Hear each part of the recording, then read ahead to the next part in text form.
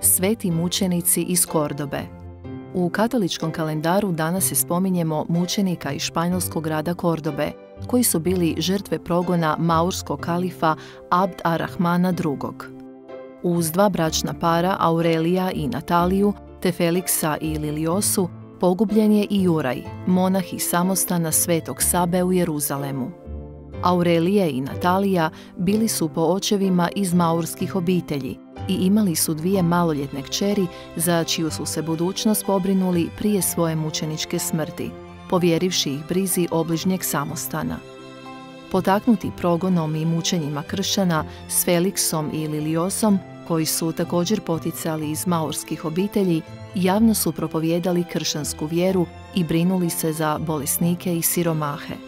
Nisu željeli prihvatiti islam, pa im je odrubljena glava. Iako je monahu Juriju kao strancu ponuđen oprost, on se radije pridružio svoje kršćanskoj braći u mučeništvu. Dogodilo se to na današnji dan, 27. srpnja 852. godine. U Kordobi je mučeničkom smrću između 850. i 859. stradalo 48 kršćana.